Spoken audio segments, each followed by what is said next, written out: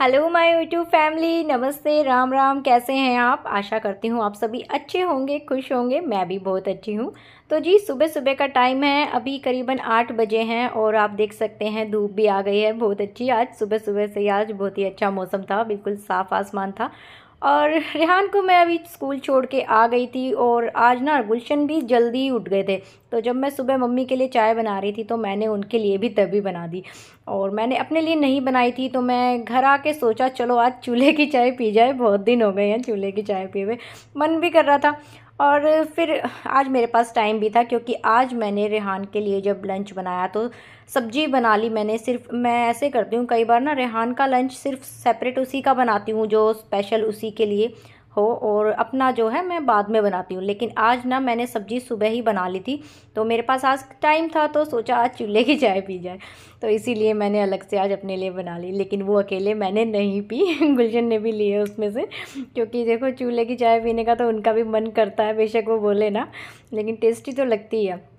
फिर मैंने सोचा, चलो खाना तो आज मुझे बनाने की टेंशन है नहीं तो टाइम भी था तो आज थोड़ी सी डस्टिंग कर ली जाए, सफ़ाई कर ली जाए, क्योंकि इतने दिन से प्रियंका की शादी की तैयारियों में शॉपिंग के चक्कर में मैं घर पे ना बिल्कुल ही ध्यान नहीं दे पा रही थी। और सुबह ऐसा होता था, बस मैं खाना बनाती थी, और कई बार तो ऐसा हुआ है, मैं झाड़ू ही लगा पाई और पोछा तो लगा ही नहीं पाई, तुरंत मुझे मतलब घर से निकलना होता था शॉपिंग के लिए।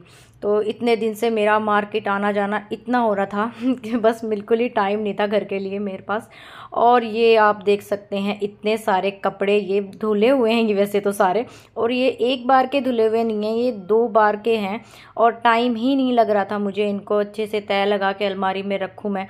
तो जैसा कि मैंने पहले बताया, मैं काम करती थी और काम मतलब जो मोटा मोटा काम होता था ना घर का, बस खाना बनाना हल्की फुल्की साफ़ सफ़ाई करना, बस वो करके मैं निकल जाती थी।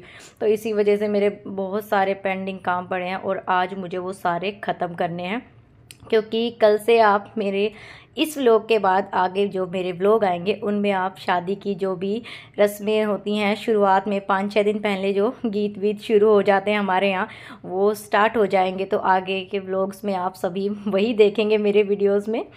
तो अभी आप मेरे ब्लॉग्स में बने रहिएगा, आगे बहुत ही अच्छे अच्छे वीडियोस आने वाले हैं। इसके लिए आपको एक ज़रूरी काम करना होगा कि वो है मेरे चैनल को सब्सक्राइब करके बेल आइकन का ऑल पे सेट कर लीजिए, ताकि आने वाले वीडियोस के नोटिफिकेशन आपको पहले ही मिल जाए। तो जी, आगे के ब्लॉग को कंटिन्यू करते हैं। तो जी, सारे कपड़े तय लगा के मैंने अच्छे से अलमारी में सेट किए पहले, और ढेर सारे कपड़े थे तो देर भी लग गई थी। इतने में गुलशन भी आ गए थे और उनको भूख लगी थी तो मैंने उनके आते ही सबसे पहले बना दी, उनके लिए गर्मा गर्म रोटियाँ।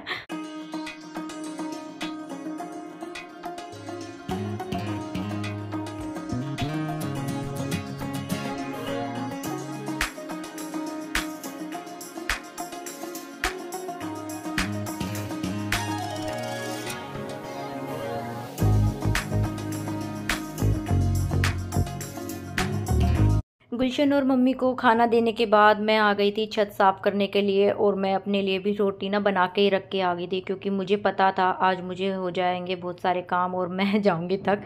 और थकने के बाद मैं बिना नहाए तो खाना बिल्कुल खाऊँगी नहीं और इतना थक जाऊँगी, फिर मेरा दिल करेगा नहीं रोटी बनाने का तो मैंने फटाफट से अपने लिए भी उसी टाइम बना के रख दी। और कोई नहीं, ठंडी हो भी गई तो मैं उसको एक तरीका और है, मैं उसे घी लगा के सेक लेती हूँ तो वो रोटियाँ बड़ी टेस्टी लगती है खाने में। तो जी, इतने दिन से मैं ना बिल्कुल ध्यान नहीं दे पा रही थी। घर में छत पे भी बहुत ही मिट्टी हो रही थी। और आजकल ना हमारी छत पे ना रोज़ मोर आ जाते हैं, वो भी बहुत गंदगी फैला देते हैं तो इस वजह से भी छत जल्दी गंदी हो जाती है। और फ्रेंड्स किसी ने मुझसे पूछा था कि, दी, आप मतलब शादी है, आपके घर में तो आपने क्या ख़रीदा है, वो हमें मतलब दिखाओ। तो अभी मैं उन लोगों को बता दूँ, मैंने ऐसा कुछ ख़रीदा नहीं है छोटी मोटी चीज़ें ही ख़रीदी हैं, क्योंकि कपड़े मेरे पास, मैंने कुछ टाइम पहले ही एक नई साड़ी ख़रीदी थी तो मैं वही पहनने वाली हूँ, वो शायद आप लोगों ने मेरी वीडियो में देखी भी होगी।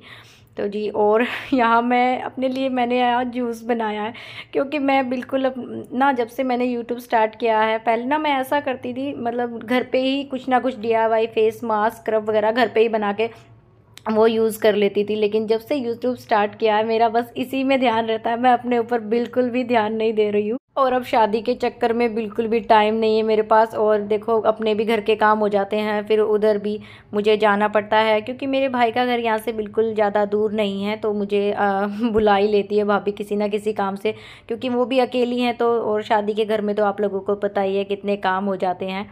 तो इसीलिए सोचा मैं और कुछ नहीं तो डेली जूस तो पीऊँगी, क्योंकि जो मैं ऑरेंज का जूस पीती हूँ, जिसमें विटामिन सी होता है, काफ़ी अच्छा रहता है विटामिन सी स्किन के लिए तो बस ये ही सोचा है मैंने डेली कुछ भी हो जाए जूस तो मेरे को पीना ही पीना है। और झाड़ू लगाने के बाद जैसा कि हमेशा होता है, मैं पोछा ही लगाती हूँ, लेकिन मुझे याद आया यार, मुझे तो बाथरूम की बाल्टियाँ भी धोनी है, और मैंने एक बार पोछा लगा दिया तो फिर मैं नहाए बगैर तो रह ही नहीं सकती हूँ तो अगर इसीलिए मैंने सोचा पहले बाल्टियाँ भी धो लेती, उसके बाद ही पोछा लगाऊँगी। तो इसीलिए मैंने सबसे पहले बाथरूम की बाल्टियाँ धोई। वैसे ज़्यादा गंदी नहीं हो रही थी और मेरा ऐसा है ना, मैं एक बार काम में किसी में लग जाऊँ ना, फिर मैं सोचती हूँ ये भी कर लूँ और ये भी कर लूँ। तो अगर मैं एक बार नहा ली ना तो उसके बाद मुझसे कोई काम नहीं होता इसी वजह से। तो जी, पूरे घर को अच्छे से साफ़ करने के बाद मैं चली गई थी नहाने और मैं यहाँ पर अपना मॉइस्चराइज़र लगा रही हूँ। आजकल मैं बस मॉइस्चराइज़र ही लगा रही हूँ। फिर मैंने डाला अपने लिए खाना और चढ़ाई सबसे पहले चाय, क्योंकि मेरा इतना मन कर रहा था ना चाय पीने का। एक तो थक गई थी। थकावट में सबसे पहले मेरा चाय पीने का ही दिल करता है। और दो बज गए थे मुझे आज काम करते करते तो काफ़ी लेट भी हो गया था। तो फ्रेंड्स, आज के व्लॉग को मैं यहीं रखूँगी। सबको वीडियो कैसी लगी मुझे कमेंट करके प्लीज़ ज़रूर बताना। मेरे चैनल पर नए हैं तो चैनल को सब्सक्राइब करके बेल आइकन का ऑल पे सेट कर लीजिए। तो मिलते हैं एक नई वीडियो में। तब तक के लिए बाय बाय